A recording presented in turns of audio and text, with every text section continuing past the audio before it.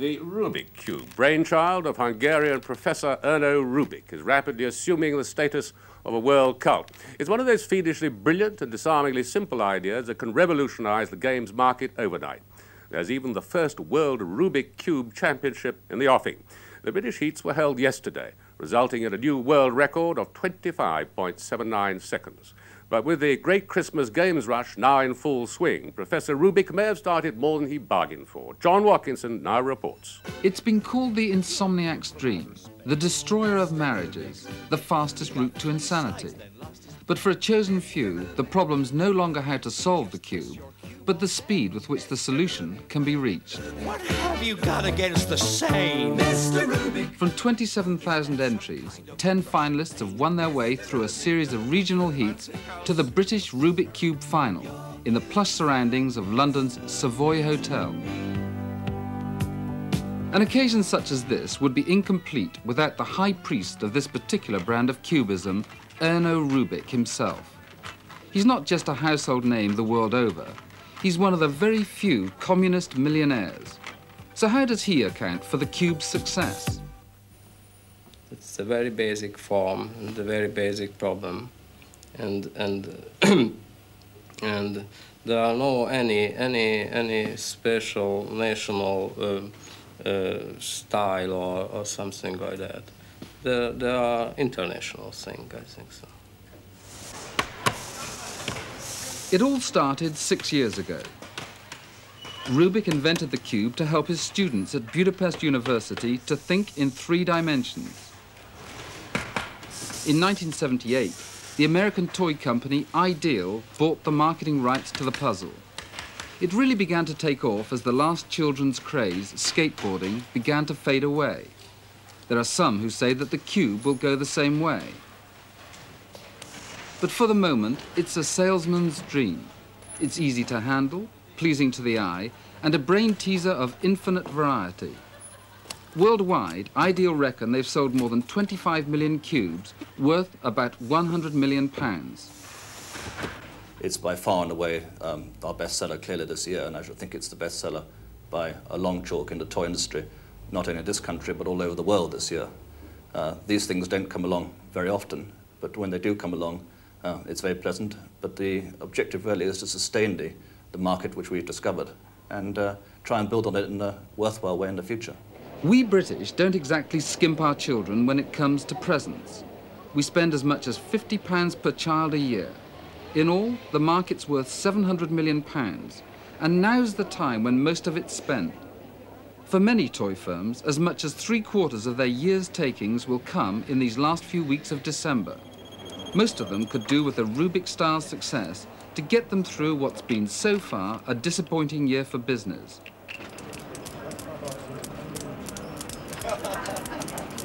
In Hamleys, a Regent Street, the toy market showcase, Puzzle Corner is buzzing with a whole new range of products. Proof that companies have been trying to cash in on the market that Rubik created. The Circus 7, the Varicone Pyramid, the Missing Cube Puzzle, and the maddening liquid geometry. But in the last few months, it's the snake, yet another invention of Rubik that's moving up the toy top 10. Already, it's the number six bestseller, but it's one that slipped through the fingers of Ideal. Well, I think when the snake was first seen uh, by our company, it was decided that perhaps it wasn't quite in the direct stable that the, the Rubik's Cube has established. Uh, in retrospect, the snake's been a very successful product, and um, I think we've been a mistake. We would have liked to have had it. But the biggest spin-off is the rip-off. Cheap imitations are pouring in from such countries as Hong Kong and Taiwan. This is the Rubik Cube, made in Hungary and costing five pounds. This is a cheap imitation from Taiwan and costs only one pound, and is hardly worth that, say Ideal. All told, they reckon there are more than 60 varieties of cubes, with sales approaching their 25 million. Worldwide, they know they're fighting a losing battle, but in this country, they've taken action in the courts to protect their copyright and to stop the sale of these cheap copies. The Black Mountains Abergavenny, the unlikely setting for Mark Elliott's one-man assault on the puzzle market. He set up business five years ago then, as now, he's insisted on it remaining home-based. Entirely self-taught, he designs and makes his own prototypes. He broke into the market with two games, Junk and Skirid. But now he thinks he's got a puzzle that might even upstage the cube. It's called the Great Pyramid Puzzle. Well, you've got, you start off, you've got a pyramid structure. The blue part is a pyramid structure, which is on a chrome stand. You have 36 triangles with patterns on them. All the patterns are different. And if I play this piece, I'm looking for a piece which will match here and here. And that does. That's okay. And now I'm looking for a piece which will match both here and here. And if I, I think I'm right here, that one will go in there. Now you're, you're creating a matching pattern. You have to do that on all four sides of the pyramid, including down the spines, as I say, on all four sides, until you have one total matching pattern which covers the pyramid with the triangles. And there you've, you've begun to solve the problem. Elliot is manufacturing 5,000 pyramids a week through Waddington's, one of Britain's largest toy companies. And he's the first person to build a cash prize into a commercial puzzle. For each pyramid that's sold, one pound is set aside for prize money. So far, the figure's £25,000. To win it, all you've got to do is calculate, or is it guess, a 12-digit number connected with the 36 triangles. Elliot gives you a couple of clues, and then you're on your own. If it all sounds complicated, it is. But Elliot says it's nothing compared to the problem of getting the £100,000 needed to launch the Great Pyramid. I started from, from zero, and I uh, did the rounds. I went to 42 different banks, institutions, finance houses, government agencies, and so on. Um, when I was halfway through the negatives, about 25 had said no, I contacted Maggie Thatcher. I wrote to Sir Geoffrey Howe. I was put onto the Department of Industry. Um, and one by one, they said no. Uh, and I then had a decision to make. One was that I'll go to America, where the streets are paved with gold and they're sure to back me there. Or I will go to a company in this country um, who uh, would be prepared to give me credit. And I went to Waddington's, um, and I think very sensibly they decided that they would. Elliott cuts out the shopkeeper by selling directly to the public through the pages of the Sunday colour supplements.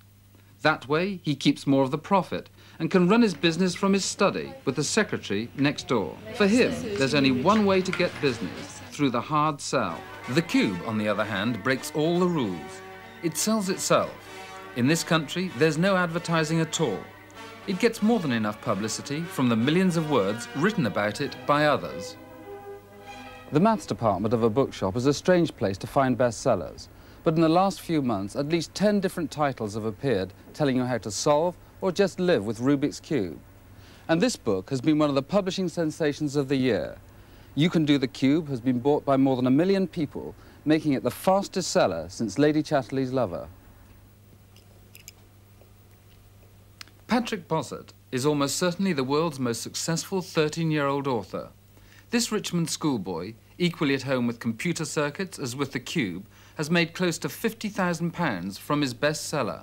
I was, I thought it might just sell about 10,000 copies, but it's sold over a million, which came as a shock. One night I got a phone call and they said, congratulations, we've gone over the million mark. Well, what do you think of all these uh, follow-up to follow-ups to the cube? I like them a lot. They all work on cube principles, except for the pyramid and the snake, which are slightly different. But my favourite of the lot is the barrel, because when you muddle it up, it loses its shape. It starts sticking out in all directions. And so you have to get its shape to solve it, as well as the colours. Rubik's Cube has spawned a mini-industry in the puzzle market. But how long is it all going to last? For many in the toy business, Rubik's Cube is mentioned in the same breath as the all-time bestsellers like Monopoly and Scrabble. Games like these stand alone as big money spinners year in, year out. Rubik could now be in this class. Rubik is clearly the name that has authority in this puzzle market, if indeed there is going to be a puzzle market. It's most important that we use that name responsibly and develop products which are consistent with the reputation that we have now established at Rubik. And uh, I believe that Rubik will become synonymous with uh, successful and interesting puzzles in the future. what do you think of Rubik's Cube? I think it's the best puzzle that's, that's come onto the market uh, for the last, oh, goodness knows how long. I mean, it's a superb product. I think anybody who tries to follow it is a complete fool.